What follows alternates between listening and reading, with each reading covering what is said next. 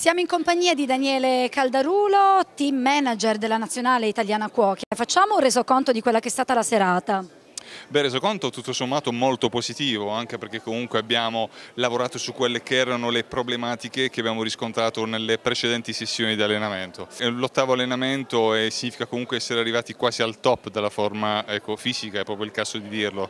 Eh, io sono molto ottimista perché comunque abbiamo proposto un menu molto ricercato, molto innovativo. Eh, Nell'innovazione c'è anche una base di tradizione perché comunque parliamo di una nazione italiana cuochi che comunque deve promuovere il patrimonio, in questo caso enogastronomico del Made in Italy. A questo noi comunque gli aggiungiamo tanta creatività ed è proprio la creatività che comunque suscita interesse, eh, in questo caso dei giudici che comunque ci valuteranno e ci giudicheranno in, in gara. Quindi sono molto ottimista per questo. E io in cucina ho visto veramente tanta voglia di fare, tanta concentrazione, i ragazzi addirittura sono andati anche avanti rispetto ai tempi. Sì, è molto importante rispettare la tempistica durante la fase della competizione perché noi abbiamo a disposizione 5 ore e in quelle 5 ore dobbiamo preparare uno starter, una main course e un dessert per 110 persone. Tu riesci a trovare una perfezione solo dopo tanti tanti allenamenti e noi ci siamo allenati abbastanza. Ti facciamo un grande in bocca al lupo e speriamo bene per la nazionale italiana cuochi. Crepi. Grazie a te, io sono molto ottimista.